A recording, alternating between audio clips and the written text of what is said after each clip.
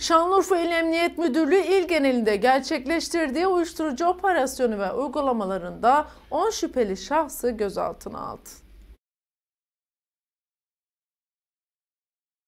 Şanlıurfa İl Emniyet Müdürlüğü'ne bağlı Narkotik Şube Müdürlüğü ekipleri şehir genelinde gece yarısı mahallelerde pusu atarak büyük çaplı bir operasyon gerçekleştirdi.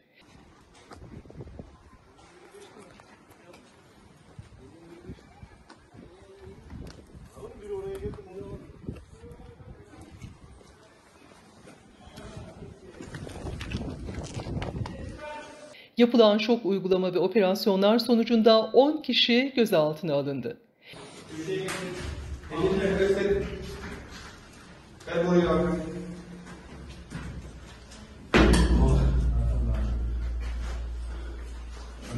Bunları anlatın ben bakayım.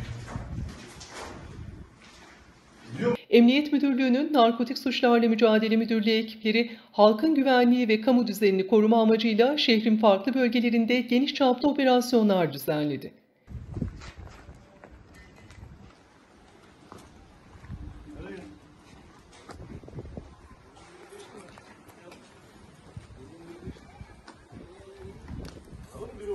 ...103 emniyet personelinin katılımıyla gerçekleştirilen bu şok uygulamaların ardından uyuşturucu madde ticareti ve imalatı ile ilgili çalışmalar hız kazandı.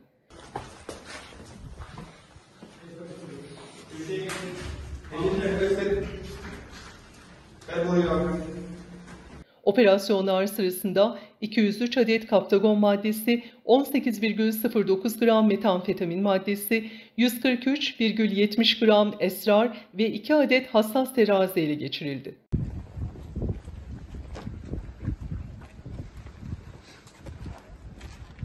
Gözaltına alınan 10 şüphelinin ise uyuşturucu madde imalatı ve ticareti suçlarından dolayı işlem yapılmak üzere Emniyet Müdürlüğü'ne götürüldüğü bildirildi.